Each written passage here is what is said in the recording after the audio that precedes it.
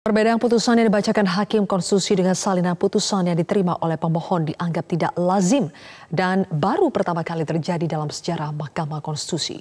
Dugaan upaya penyeludupan hukum itu sudah seharusnya diusut secara pidana dan bukan hanya sekedar etik. Dengan demikian, pemberhentian Hakim Konstitusi sebelum habis masa jabatannya hanya dapat dilakukan karena alasan mengundurkan diri atas permintaan sendiri yang diajukan kepada Ketua Mahkamah Konstitusi, sakit jasmani atau rohani secara terus-menerus selama tiga bulan sehingga tidak dapat menjalankan tugasnya yang dibuktikan dengan surat keterangan dokter serta diberhentikan dengan tidak hormat.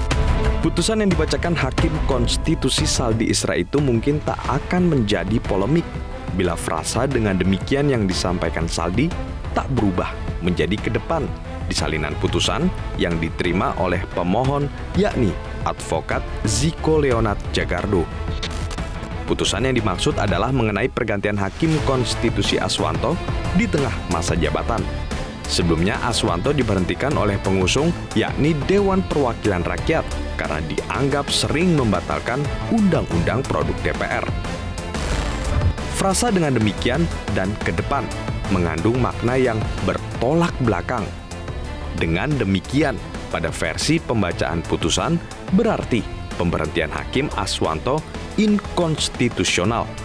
Sebaliknya, frasa ke depan pada versi salinan putusan berarti pemberhentian itu tak bermasalah, tapi praktik seperti itu tak boleh diulangi lagi. Bahwa kemudian ada perubahan, itu tentu menjadi sesuatu yang boleh dikatakan ya secara general berlanggar politik, tetapi secara spesifik kan pemalsuan itu kan.